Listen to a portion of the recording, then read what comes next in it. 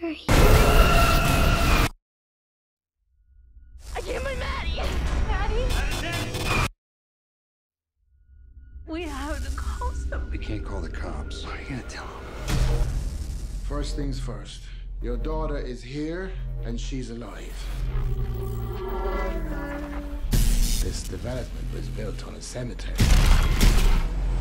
But this isn't just a few pissed off spirits. It's a poltergeist. They are trapped and desperate. And Maddie is their ticket out. We just want our daughter back.